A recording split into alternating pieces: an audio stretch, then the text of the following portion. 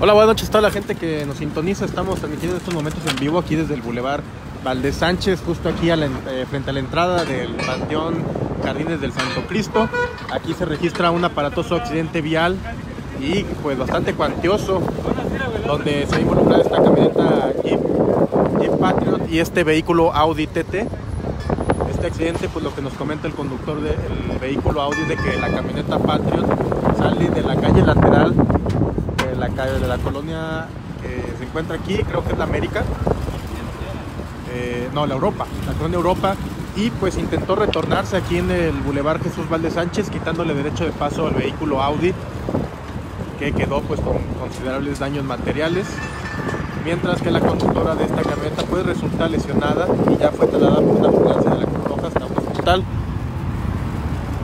Eh, la circulación pues afectada debido a este choque, pero ya se encuentra la grúa realizando las maniobras correspondientes para mover estos dos vehículos que se vieron involucrados en este aparatoso choque vial que se registra aquí en Valdés Sánchez, justo frente al Panteón Jardines del Santo Cristo. Aquí podemos ver los daños que pues sufrió este, este vehículo Audi, que era el que llevaba la vía libre, y pues la conductora de la camioneta Patriot pues le quitó el derecho de paso y recibiendo un fuerte impacto y dejándola lesionada. Como pueden ver el tráfico pues se encuentra tapado en dos carriles de circulación debido a este accidente que se registra aquí eh, justo frente al Panteón de Santo Cristo. Como les comento, una persona lesionada ya fue trasladada por los paramédicos de la Cruz Roja que siempre están ahí para cuando nosotros los necesitamos.